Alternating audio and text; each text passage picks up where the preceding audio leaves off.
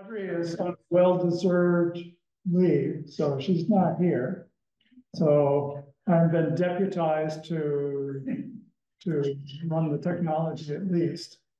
And mostly I introduce John Harmon, who will be our teacher for several sessions. So John. introduce- Thank you. Uh, thank you for coming. Um, I appreciate, uh, Audrey's courtesy in referring me, to me as Dr. Harmon. Uh, the only people who call me Dr. Harmon are the people at the University of Rochester who want my money. So don't think you need to call me Dr. Harmon, please. Um, I should tell you one little story. I, Audrey sent around a little slide, me, uh, what I was going to talk about. But I should tell you that um, uh, when Claire and I were looking for churches in this area, uh, the Presbyterian Church here in Morristown was recommended. And my wife, who was raised Catholic, said, who are these Presbyterians after all? And because we had attended uh, United Church of Christ churches for years. Uh, as a matter, matter, matter of fact, three of them in three different cities, and we were quite comfortable with the culture and with the church. And she didn't know what to expect. And she got here and she said, you know, this is really like the UCC. I said, well, yeah. Part of the point is that, uh, as we're going to talk about in the last session, uh, the name of the de denomination doesn't necessarily reflect what the church is like. Uh, our church in America has become very different from where it started. That's one of the themes that we'll have in the last session. And it's very interesting to see where Protestantism, where religion, Christianity is today in America, or where it's not. So we'll, we'll talk more about that in the session five. Okay? So um, a, a, couple in introductions here. This so these are the five sessions. Uh, today, we're going to talk about uh, Palestine at the time of Jesus. I thought it was important to understand the context. What was the world like when Jesus was there? And how do we know? And we'll talk more about that. There are some challenges we have in understanding what that is, which I'll go through. But it's important that we at least try to understand best we can what Palestine was like at the time. Um, second, next week, the early Jesus movement. No, notice I'm not talking about the Christian church here, because the Christian church didn't really exist for probably a hundred years after the death of Jesus. It was really a movement within Judaism that saw Jesus as the Messiah. By the way, the Messiah was not an unknown figure in Judaism. It had been referred to in the Old Testament in a number of books, so it wasn't an alien idea so much. Uh, so people were quite comfortable in being Jewish and thinking there was a Messiah, and yes, thinking that Jesus was that very Messiah. So we'll, we'll talk about that next week. then we'll talk about the early Christian church. Uh, the early Christian church, by the way, uh, was very different than what we understand today, borrowing many of the influences of the time to incorporate in, into its practices and into its beliefs uh, some pagan ideas were infused into Christianity at the time. We'll talk more about that. I'm not suggesting these are wrong. I'm just saying this is what the history suggests. Talk about next next week. then we'll talk about the Church of Rome in the Middle Ages. By the way, the Church of Rome, as distinct from the Eastern Church, there was a split uh, in about 400, 450 or so, where the Eastern Church went one way and the Western Church went another. And uh, most of our conversation will be about the Western Church because the Reformation never existed in the Eastern Church. There's not a lot to talk about. So we'll talk about that. And then we'll talk about the Christian church in America. By the way, we're talking about thousands of years of time that I'm scrunching into five separate pieces of information. So I'm going to fly at a high level and probably drop down instantly and then back up. So Forgive me if I don't touch on everything you might expect, but it's a matter of putting together information that you can make sense of in a short period of time. Okay? So uh, a couple Can I of, just say that I'm excited about this curriculum, that's really fascinating. well, good, good, uh, Can we actually, get the college credit for this? yes, you do. Uh, I'll just sign whatever document you've got, it, will be fine. Uh, I should ask the question, I was gonna save it for later, but your question, uh, inspired me to ask this. Are there some things you'd like to hear about or know, given all the topics I talked about? Uh, and by the way, this is not the only time I'll ask this question, but let me know, is there anything that you're wanting, yes? What year did the Romans take control of Judea? Uh, sixty-three BC. Wow. We'll, we'll talk about timeline, by the way. I've got timelines and everything here. You'll, you'll love it. Um, and by the way, Palestine was not the first time it had been conquered. It had been conquered uh, over a number of centuries, but nonetheless, uh, sixty-three is when Rome, uh, took over Palestine. BC, BC. BC, that's right. Or as they say, BCE, before the common era. Well, let's start. Um, so a, a couple of reflections, and I want to make sure that I'm clear. Um, does anybody know what a primary and secondary source is? Primary source is like a diary or something where the person that was part of the action uh, took note of it. Secondary is like hearsay or, um, you know, second or third generation that's writing right. Yeah. Well, historians wouldn't want to be accused of writing hearsay, but, uh, but you're right. Primary sources are contemporaneous. They, uh, they occurred at the time of the events. It could be coins, it could be legislation, it could be diaries, it could be accounts of one kind or another. Um, and historians consider those to be the most important source of historical truth is primary sources. Secondary sources are derivative, which is to say, uh, they, you look at the primary stuff and you write about it. And historians, of course, is all about secondary sources. Interestingly enough, the, in, the sources we have are uh, for Palestine at the time of Jesus are uh, sort of uh, a hybrid, sort of primary and sort of secondary, which I'll get to in a second, which makes them problematic, by the way. It's hard to know exactly what is truth based on what we know from these primary slash secondary sources. Yes. Pardon me? Yes, Yep. Know, that's right. And of course, many of them do not exist today, or they're in bits and pieces. Um, there are some of those, that's for sure, but hardly enough to draw some conclusions, at least the conclusions we'd like to draw from them. Uh, but at least there's some confirmation of some of the opinions that people have about the uh, historical documents that remain today.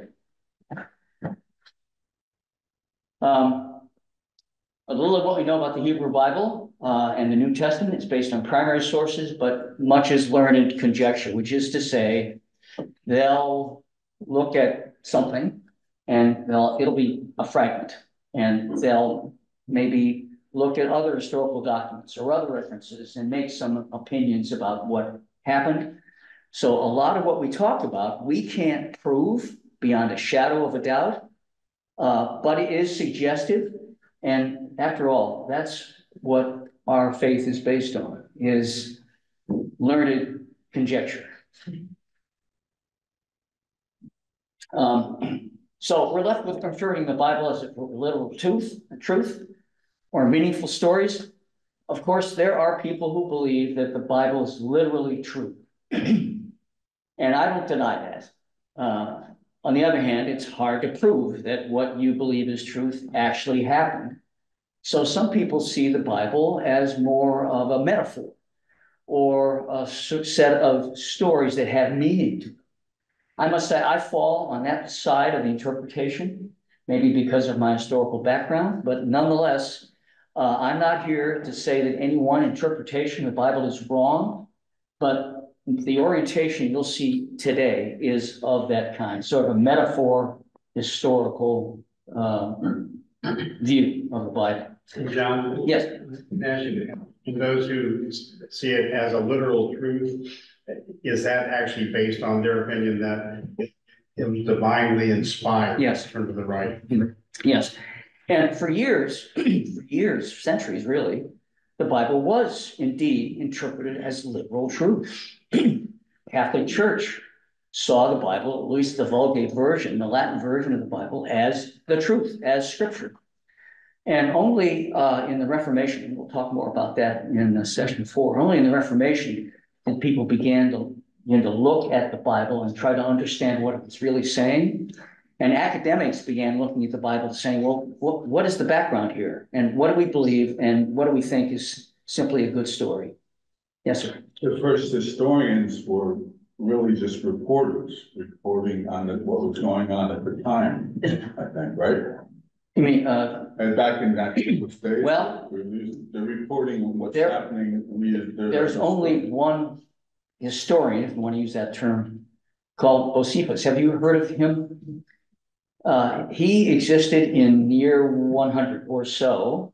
And he is probably the closest source we have to um, what was actually going on. And he took documents that existed at the time, legislation that existed at the time, court records that ex- existed at the time, and put together a history. And, and we see both Josephus as, uh, sorry, Josephus as the primary historian for this time, even though he collected stuff that was probably uh, not all that representative of the time, but he's, he's the best we got. Is he Jewish or Roman? He's a Roman? Roman. Okay. Yeah, he did. Um.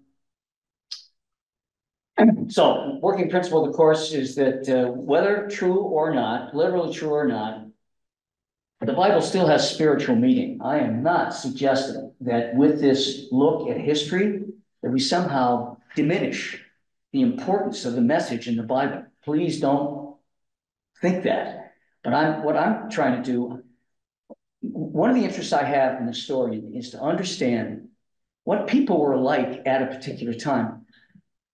They're people like us. You know, they, they, they have the same, same DNA, but things were different. And so why were they, why were they different? And how did that affect people? How did it affect the decisions they made and the culture they choose? And frankly, how does that inform us about what we are? Um, one of the things that I found interesting about studying the Bible is it helps me understand or examine my faith. To understand better why I believe what I believe in the, in the context, uh, context of history. And I hope you'll find this to be true for you today. Okay. So the Hebrew Bible, this is the Old Testament, was years in the making. Uh, it was a series of stories, a series of oral histories, uh, stories passed on generation from generation that were not necessarily documented, sometimes they were, but existed. And um, only during the Babylonian cap- captivity, we'll talk more about that, did they begin taking all these stories and combining them and docu- documenting them in what we know as the Old Testament. So that's one of the problematic aspects of this period, which is to say, these are not contemporaneous accounts. These are oral stories. These are histories passed on word by word, person by person, that eventually were documented. Are they true? Well, have you ever played telephone? If you play telephone, you understand what it's like to have to repeat a story that you've heard and tell somebody else and have them tell it back to you and you'll find it's different. So I'm not suggesting, by the way, these are invalid. I'm just saying that there's always, there's a grain of truth in these stories. There's a grain of truth in this history, but uh, maybe not as accurate as we'd like it to be. Um, for ninety-five percent of the Jews during Roman rule, and by the way, this is true for the time before Roman rule, they existed to provide wealth and comfort for the top one or two percent. It was called a dominant economic model. It occurs, occurs today. It occurred, it occurred a lot during this period of time. It occurred throughout the Middle Ages. Wealth was a function of acquiring property and plunder. You acquired property, you eventually had wealth, and you got whatever riches were available at the time. Uh, unfortunately, it was very difficult to hold on to this because warfare was what it was. So there's constant changes. Empires came, empires went, and we found the same thing to be true Palestine. Palestine was ruled by a variety of empires, all of which hewed to this dominant domination economic model, a cruel existence for those losers who are simply feeding wealth to the top one percent. Yes, sir.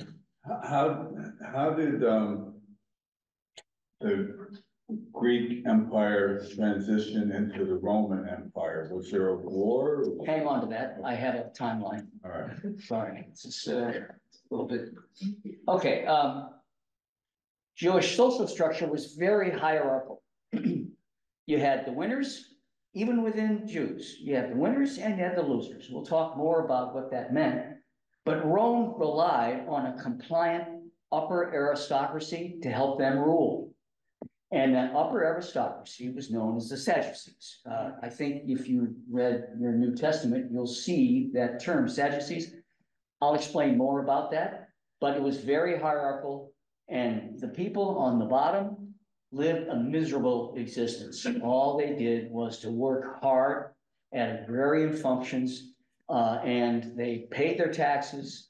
Uh, they were lived a subsistence life in order for the wealthy to enjoy themselves. um, we have very little contemporaneous uh, knowledge of Jesus and his life. I'll tell you what we know. I'll tell you what we assume, but we have very little. Um, and what we know of Jesus, the most contemporary documents we have occurred anywhere from 40 to 80 years after his death. And this is through several generations of storytelling. So the Gospels are what I call really faith narratives as opposed to histories. Not to saying there's some historical truth embedded in there, there is, but exactly what it was and what is a story, uh, hard to know. But we'll talk more about that as we flesh out the Gospels. This will be next week. Yes, sir. A question for you. No. During that time, the Jewish church was very strong. There were these higher up, like you said, that kind of church. Now, did they kind of dictate what was transmitted down to the common people? And how The answer is yes and no. Um, it's a favorite answer, by the way, historians. We say that all the time. Uh, yes, in the sense that, uh, they were the authority for how life was lived as a Jew. And that came primarily from the Torah. Uh, no, in the sense that they were passing on whatever dictates Rome, Rome had. Uh, Jews collected taxes. Jews enforced Roman rule. Um, so some of the Roman rule had nothing to do with the way people believed and lived their life. Some did, but the Sadducees were responsible for sorting through this and then essentially governing the rest of Palestine. It's a light word, by the way. It's hard to, we don't, government at this time was not what we know today. But still, uh, it was the Sadducees who were primarily responsible for that. Okay, here's the timeline I was telling you about. By the way, this is a testament to my PowerPoint skills. Uh, it's a little crude, I'm sorry, but okay. what do I, what do I know? Um, so you can see twelve hundred BCE to 04 CE, 04 CE, by the way, is we think roughly the date of Jesus' birth roughly. Um, so what happened?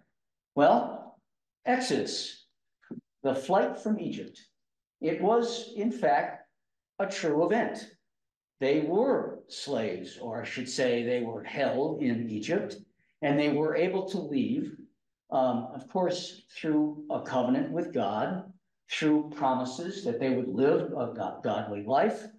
And they, they left, uh, and they wandered around for a period of forty or fifty years. We'll talk more about this in, in, when we talk about the books of the Torah. Um, and then they established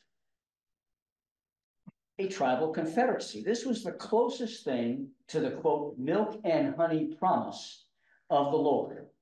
Uh, it was a much more egalitarian life, not egalitarian life in the way we understand it, but certainly compared to the domination economic model that they had lived under in Egypt and would live, live under after the tribal confederacy. So this existed for several hundred years, but it's very hard, of course, to keep something like this in place without some king coming along and screwing things up. Uh, now, I'm not saying that uh, Saul and David and Solomon did that, but they did establish a, uh, a, uh, an autocracy, a monarchy. Uh, it was a benign mon- monarchy, uh, written very lovingly in the Old Testament, but nonetheless, power started at the top. um, it didn't last long. And then the northern kingdom and the southern kingdom, these are two separate kingdoms under a monarchical model. Um, and uh, the northern kingdom covered what they call Israel. The second is, is Judah. By the way, these terms are still used today uh, to describe uh, Palestine, Israel. Um, so th- these models existed for uh, several hundred years. Uh, but the northern kingdom was uh, taken over by Assyria. The southern kingdom was taken over by the Babylonian Empire. Same economic model, just different guys leading it. Um, and um, as a result, and we don't know exactly why this has happened, but about 20% of the Palestinian population, the Jewish population, was taken to Babylon. We think in part it was the leaders. They didn't want the leaders hanging around infecting everybody else. It may have been uh, work, slavery, we don't know. But a significant percentage of the population was taken over and taken to Babylon. They were busy when they were when they got there because they began compiling all these stories, all these these ideas that have been passed down generation from generation, and began documenting them in into uh, documents. Um, much of the New Testament, mm, the Torah, the prophets, the kings, were all compiled and documented during this period of time. It was a very important part of Jewish history. Um, and then they came back. They were, uh, th- what happened was Babylon got taken over by the Persian Empire. Another, another group, uh, hewing to the same economic model, same life, same existence, just different heads. And, uh, then the, the, the Jews in Babylon were, were allowed to return to Palestine. And they did so with these documents in hand. These now became part of the belief and the tradition of Jewish life. John? Yes, Is it safe to say that Babylon, we know it now, is Iraq Yes. and Persia, Yes. Iran Yes. right, yes. Okay, The Persian Empire, by the way, covered what we know now known as Iraq. But still, uh, much of what we know of, of, uh, life here centered roughly in Damascus, Iraq, roughly. Uh, it's, these historical terms are really hard to pin down because they're so vague and they occupy so much geography, it's very hard to know exactly what happened. But roughly, that's the case. And empire was all a part of life. It's all a part of life then, it was a part of life probably up until the Industrial Revolution, where we found new ways to generate wealth. Sometimes unfair, but they were new and didn't rely on uh, the acquisition of land and plunder. Uh, the Hellenist Empire, this is Alexander the Great. And then finally Rome, and then uh, there was a revolt against the, uh, uh, against the Hellenist Empire, the Maccabees. This again was a return to the idea of a confederacy, which had existed centuries before. Uh, didn't last long. And then Rome came in about sixty-three. And that's the time we're talking about. Yes. And so if you were actually mapping, I'll call it the level of freedom that the, that the Jewish people, uh, experienced. You would actually have, a uh, someone who was spike at the tribal confederacy. Spike at the Maccabees, and everywhere else would be a trough of, of, of personal freedom. That, that, that's right. Now, I, I, I wouldn't create too much of a gap between one and the other. But if you were a peasant, you were a peasant, and it probably didn't feel a lot different, but nonetheless, it was a little bit more egalitarian. That's, that's correct. Yes, sir. Uh, during the time of Maccabees, uh, that's where the Jews get the celebration of Hanukkah. Mhm. Yeah. Yep. Yeah, that- this, by the way, occurred, um, the, the, the documents coming out of the Babylonian captivity were beginning to percolate and generate. And they were beginning to be shared. And a lot of what, a lot of the rites uh, came, that existed at the time of Jesus. Uh, the Hanukkah, the celebration of Passover, the importance of the temple came out of the experience from the Babylonian captivity. Also, also in Maccabees. It documents an uprising against the Greeks, Yeah. yeah. Yes, it was uh, unexpected. By the way, uh, Rome was different in the sense that they had firm military control. A lot of these empires couldn't afford the military needed to maintain the geography. It was very expensive. So it was relatively easy to begin another empire sweeping in, taking over and kicking the old empire out. I'm, I'm being a little uh, superficial, but still, that, that's the model. Yes, ma'am. Um, I've always kind of wondered whether. In ancient times, when nobody had, nobody could read. Were people able to use a part of their brains that we don't use any longer? That's a sort of story. Uh, well, let's put it this way. Um, hymns and stories were a very important part of culture. You, you translated your feelings, your thoughts, your facts orally. And hymns were a very important part of that process. Psalms is a bunch of hymns. And that's the way they, they worshiped, was to sing and to share stories. And yeah, you're right, a certain, a certain amount of the brain is capable of, uh, what, improving on that? If, if certain, you- you- the part that, that responded to the written word hmm, wasn't really developed that much. If that's what you're trying to get at, yeah. Yes, I remember hearing that the Psalms um, had titles, not numbers back then. They, they, they're like song Oh, yeah. titles. they- you know? All. Uh, this is the Old Testament and the New Testament. All the books and the verses were applied later.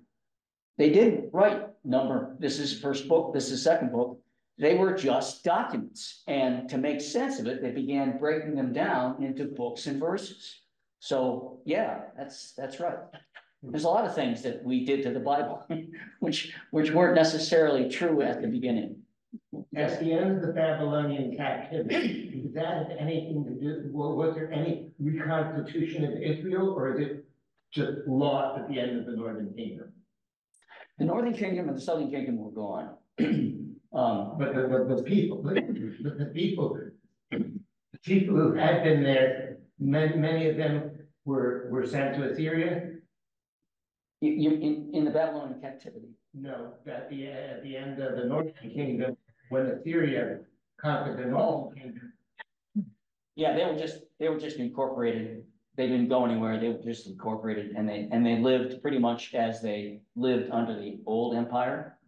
Uh, the Babylonian captivity was unique in the sense that people were actually picked, selected, and dragged to another location. Question about Babylon, Babylon is very cultured and very sophisticated. What did have those leaders and what they brought back from the standpoint of art and other? Yeah, we, we don't know. You know, There's nothing in the Old Testament that suggests influences from Babylon. That's not to say they didn't exist, we, but we just don't know. It's one of the mysteries that we have in the historical record. that you- What Papal states evolved, The what?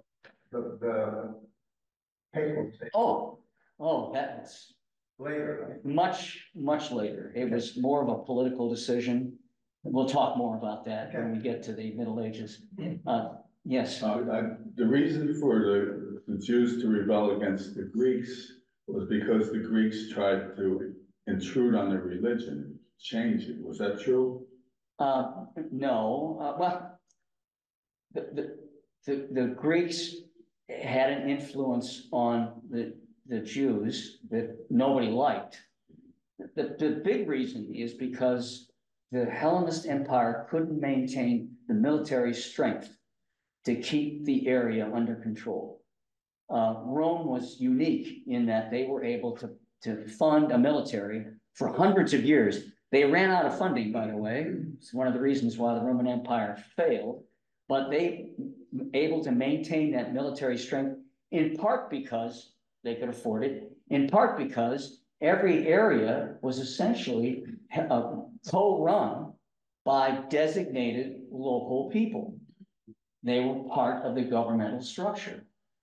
Uh, you, it, was a unique thing. Rome did a good job, at least in terms of maintaining control. I'm sorry, I'm gonna have to rush through. Uh, I'm, I'm running out of time.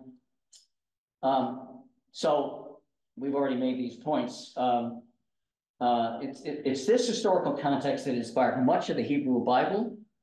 And the Old Testament, by the way, was essentially a primer, if you will, of what people believed themselves to be like and the values that they had. And we'll talk a lot about that in the next uh, section. I'm gonna break the, the Old Testament down into big chunks. One is the Torah, or the Pentateuch, or the five books of Moses.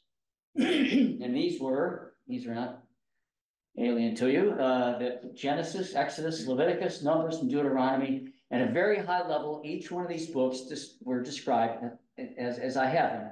Uh, Genesis was, was a series of origin stories. How did the Jews become the Jews?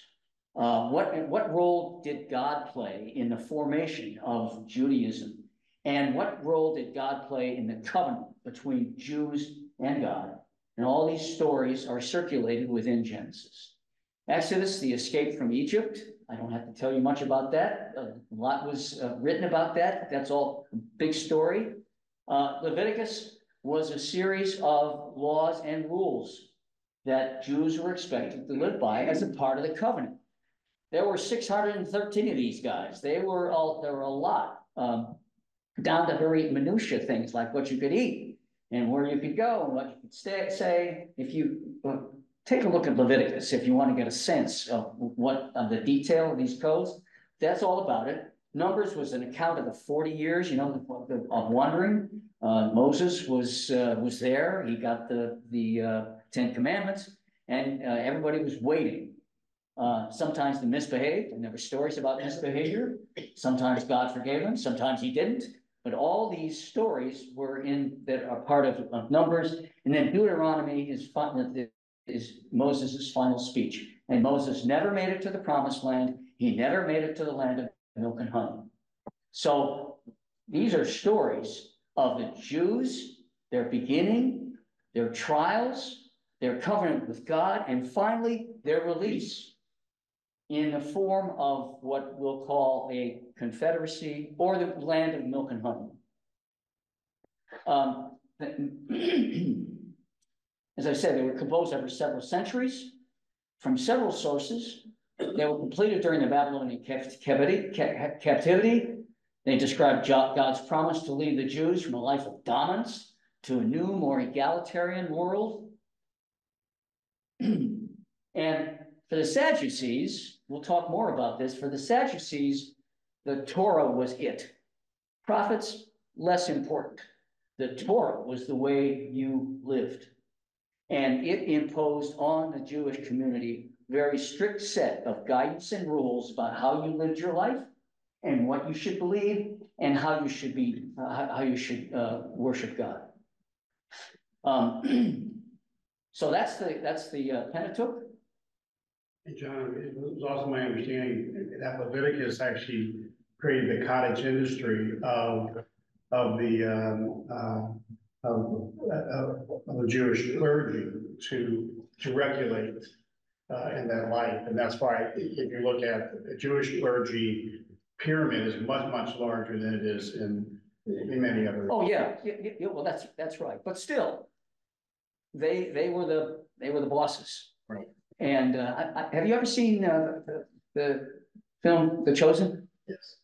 Um, it, I, I wouldn't say it's dead on accurate, but it does fairly, fairly represent the influence and authority of the Sadducees, of the leaders.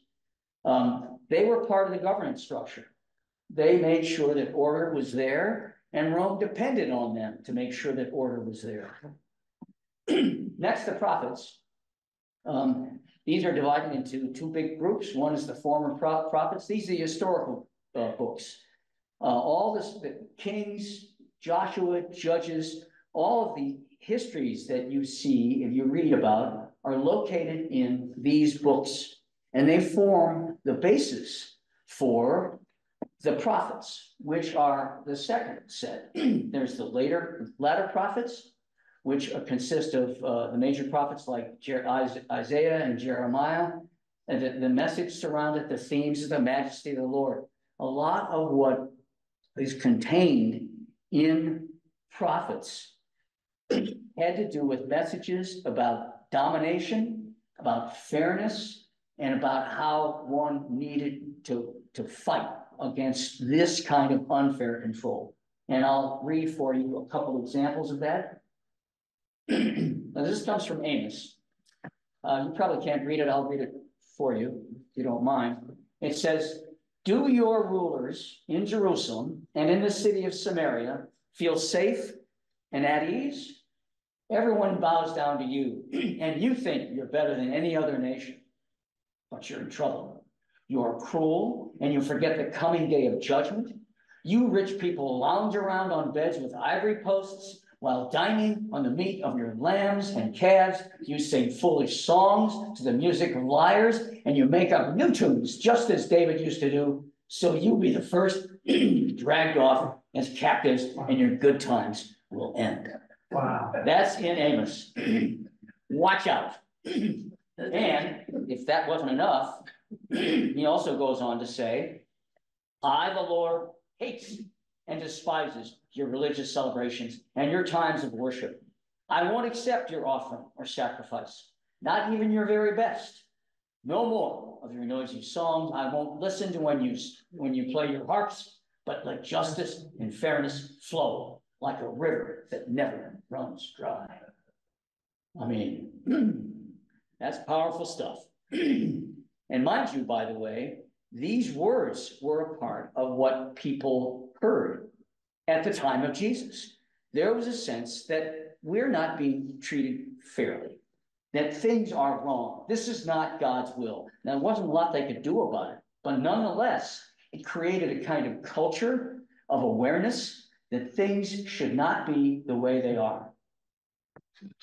So uh, that's the prophets. Uh, now, um, uh, the, the, the latter prophets, and this is Isaiah, were also uh, uh, providing guidance about what the Babylonian captivity meant and what happens with the return to uh, Palestine. and the message here is be brave. Don't worry. You have truth. You have God's will. Go to Jerusalem and live the way God wants you to do. And here's a, a quote from Isaiah. Our God has said, encourage my people, give them comfort, speak kindly to them, and announce your slavery is past. Your punishment is over. clear a path in the desert, in the desert, flatten every hill and mountain.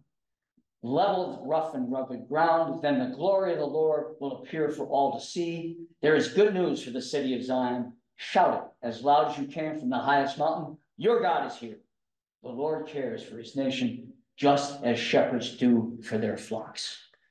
These were inspiring words that people, by the way, remembered because it was part of the prophets, part of the Old Testament.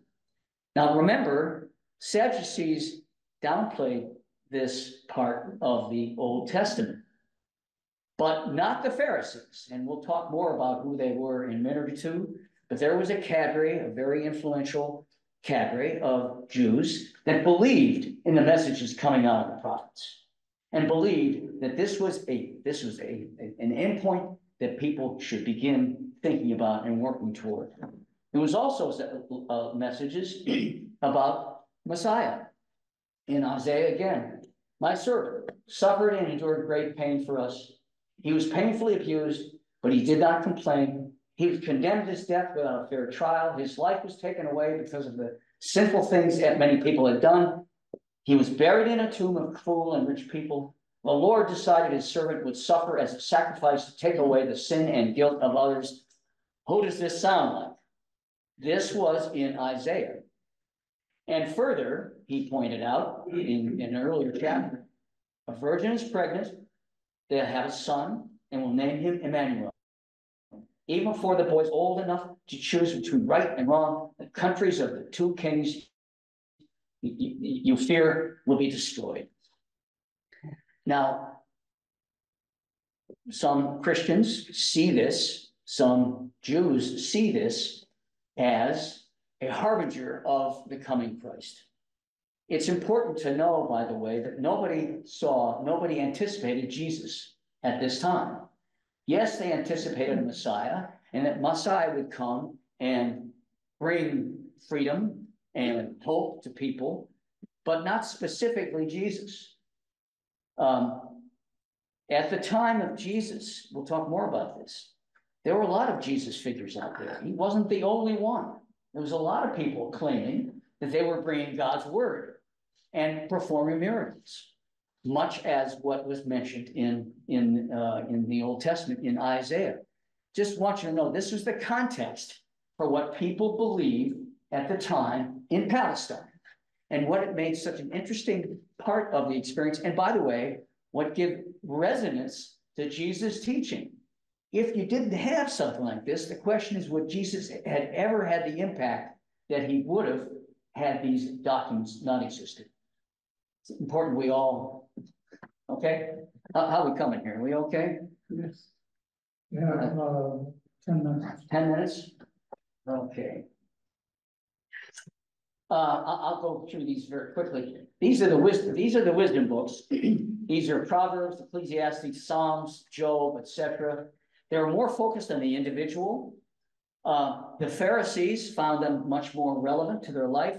And, and by the way, a lot of what you read in, in the wisdom books are what Jesus taught, what Jesus said. So a lot of what he said came from the wisdom books. Here's an example. I am wisdom. Common sense is my closest friend. I possess knowledge and sound judgment. If you respect the Lord when you hate uh, uh, when you hate evil, I have pride and conceit and deceitful lies. I am strong and offer sensible advice and sound judgment. By my power, kings govern, and the rulers make laws that are fair. Every honest leader rules with help from me. I love everyone who loves me, and I will be found by all who honestly search. What you what you receive from me is more valuable than even the finest gold or purest silver. Does this sound like something Jesus would say? Well, yeah. So a lot of what Jesus said comes directly from Proverbs. I'm not saying he quoted them, but these were, this is still an oral tradition. The, the Old Testament was not read. It was shared through stories. And a lot of what Jesus said, I'm sure was in the air, if you will. And people had a receptive audience to some of the lessons that he, he gave them. Uh, I'm not gonna have time to finish everything, but I'm gonna rush through this if I can. Here's Palestine. It's an actual map. And by the way, Jews today, still, you can't see this real, uh, they still talk about Samaria and Judea as parts of Palestine, parts of Israel. Uh, they, its geographical locations come directly from Palestine as we knew it then. Um. Sixty-three, Rome conquered Palestine, governed through a series of client rulers. Um, in thirty-seven BCE, Rome appointed Herod the Great, who was a Jew, as one of the client rulers, and they liked Herod. He brought order to the place. Taxes were collected, Passover occurred without a lot of problems. They liked it. He was also an observant Jew, and he believed that part of his job was to rebuild Jerusalem in a manner that befitted the glory of Jerusalem. So it was a tremendous building campaign, one of which included the new temple. This cost money. So in addition to Roman taxation, there was also the tax taxation from Herod's building program. You can imagine what additional privation this visited upon those poor agricultural workers as they were trying to get through the day and pay their taxes. Um. Oh, we already made- made this point. John, Yeah, I hate to divert, but at that point, even before we were explaining taxes, the census, was it the Sadducees that did that? Um, how, you know, if you have these, um, peasants, if you. Who kept track, like somebody's born, somebody's a working age, uh, how did taxes get collected for this population? well, one of the things I didn't mention, uh, one of the things that Rome brought to its governance model was administration. There were records. They knew who paid their taxes and they know who did, and the reason they knew is because they employed Jews to collect the taxes for them. Uh, the, the, the, the, tax was, tax obligation was given to the tax collector. The tax collector would collect taxes, mm, maybe more than the obligation, because hey, they get, had to get paid, right? So that's why they were hated so much, because not only did they collect tax, uh, taxes, they got their fair share. Uh, well, sorry. What's wrong here?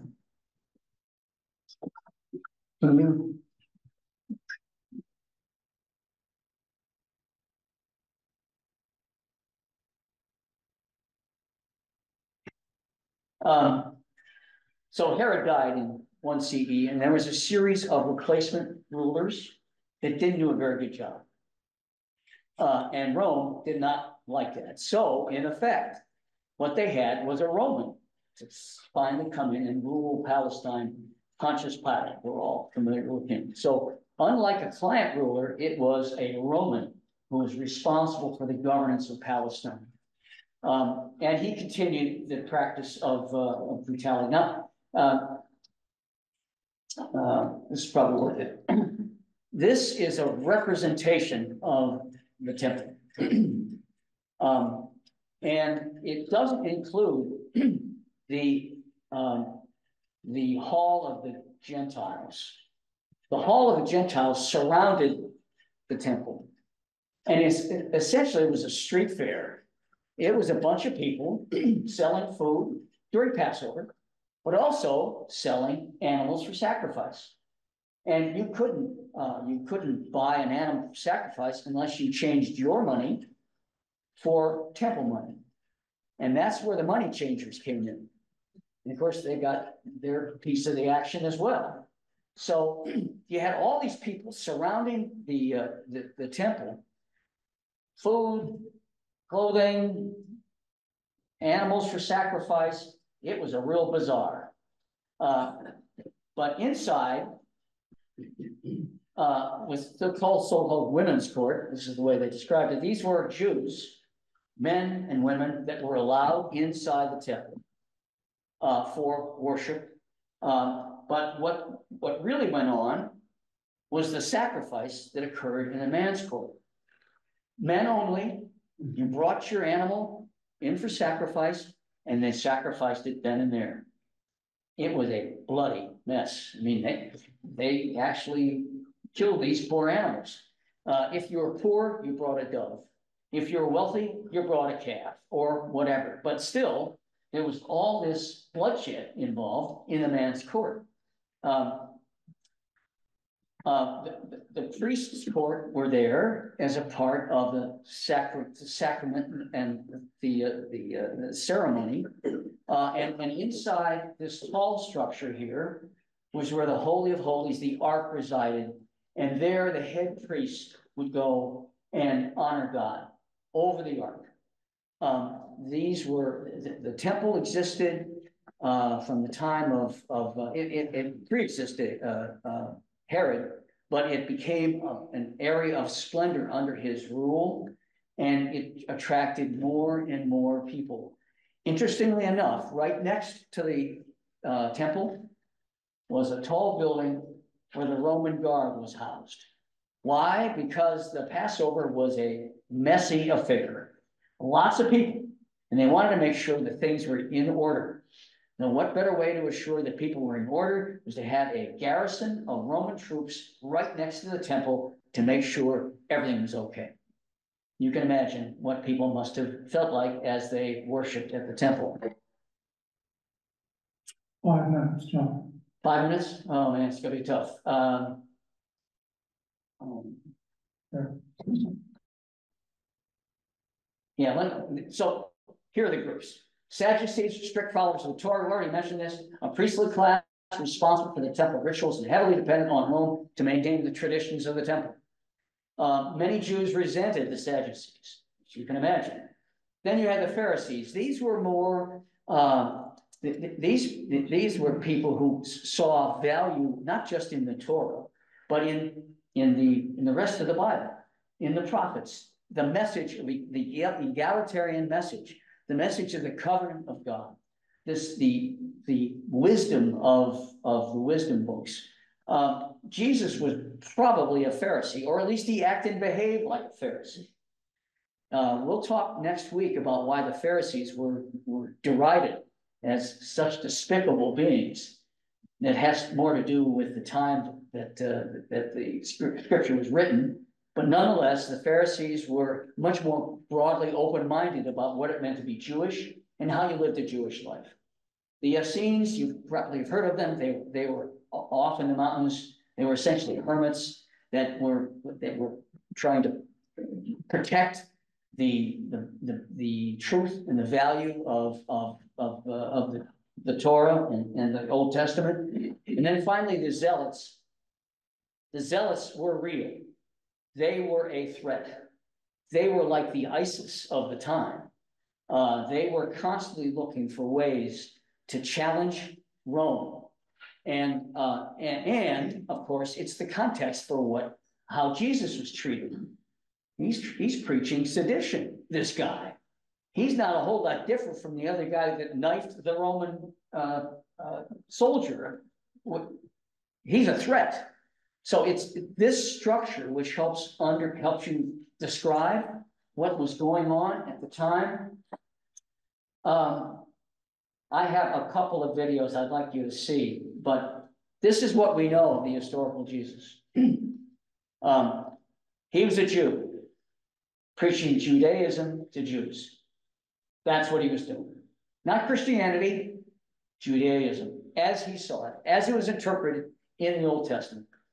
Uh, he began a Jewish movement, the goal of which was to establish the kingdom of God. What was that? We don't know.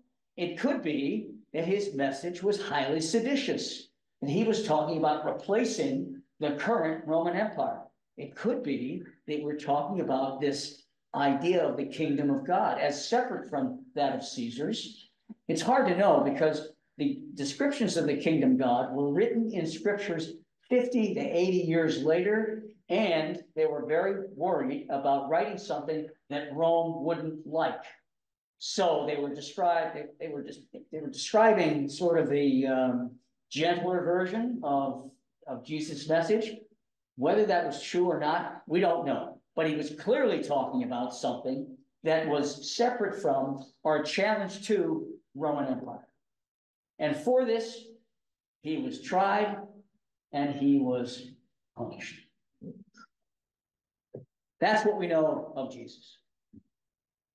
Um, I, I, I'm sorry, I don't have time to do this, Rich tells me. I'll, I'll stop, Rich. Um, these, I'll show them next time. These two videos talk about what we've been able to deduce about Jesus. Turns out, according to the research, according to the scholarly work, Jesus was not illiterate. He was not poor. He may have been a part of what was then just roughly described as the middle class. And he lived right near a major Roman city where he probably went early on for employment or for learning or for whatever. He wasn't out in the boonies. Sepphoris is the name of the city. He lived near, four miles away from Sepphoris. And so Jesus was not quite the poor itinerant creature that he's described in the, in the scripture. Um, a very magnetic personality. Don't get me wrong, but still not quite the illiterate peasant that he's described in the common understanding of Jesus. Yes. Were the synagogues used as like schools for children to learn? Synagogues, No, no? um. Learning was not a part. You learned, you, you, you were at the top of, of the hierarchy when you learned. And you essentially told people what they should think other than that. There weren't schools as we, as we know them today. Um, this, uh, I understand, uh, Reza Aslan had been here. Is that? This is a video of Reza Aslan. Uh, Reza Aslan, by the way, is an Iranian. He's, he, he was converted to Christianity. He converted back to, to Muslim, to Islam. So he's got an interesting checkered history. Uh, but he does provide an interesting perspective on Jesus and what, he may have meant to people and uh, an explanation for why people believed in Jesus and his resurrection. It's not necessarily that it happened. It was that was a story about what happened. And I, I'm not here to tell you what's right or wrong. I'm just saying this is part of, of the video that you'll see next time if we have time.